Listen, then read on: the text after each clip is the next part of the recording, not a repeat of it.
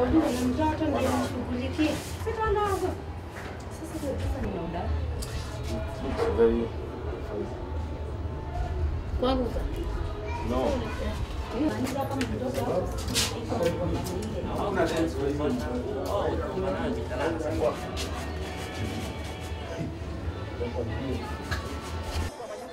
Baba tupe pesa za kusomesha watoto. Baba tupe Jehova Bwana, kwa sababu wewe ni mwaminifu. Tumeshikana mikono Bwana, Baba tukikiri wewe ni Bwana. Tuokoe na na watoto wetu wafanikiwe mashuleni Bwana na majeshi yakajulikana, hata Elia ni Bwana, wachawi na waganga washindwe katika jina la Yesu. Mama nimeishi na yeye zaidi ya miaka kumi tukifanya kibiashara pamoja Cabanas. Na sasa jana tuliachana na yeye jioni. Sasa asubuhi kuingia kwa kazi simuoni, nika- kuulizia kuna mtu ako na ripoti kumuhusu, nikaambiwa hapana. Ndio nikikaa mwendo wa saa mbili ndio nilipata ripoti ati ameuliwa. Ndio nikaambia mwenzangu tukuje, tukakuja tukaangalia, tuka notice ni ukweli, haikuwa mambo ya urongo. Tukapigia wenzetu simu. Sasa ile aliyakufuatilia ya kufuatilia ni nini ilitendeka, ni nini ilitendeka, ripoti ilikuwa ni mzee alimuua akamdunga kisu na yeye akanchinyonga.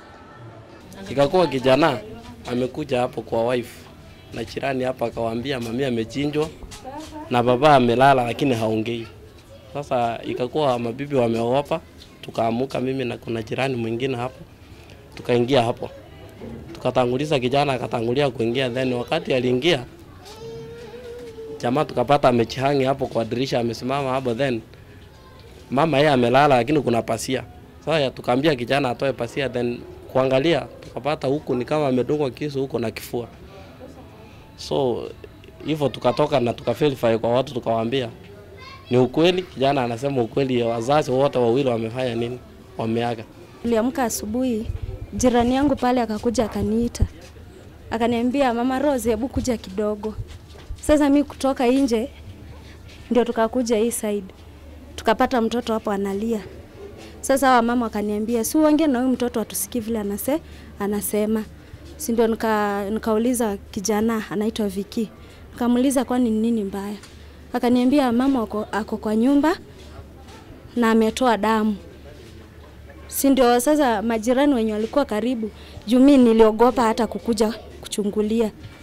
Sasa vile majirani walitoka wakakuja wakaangalia ndio wakathibitisha ukweli huyo mamake amefanya nini? Amefariki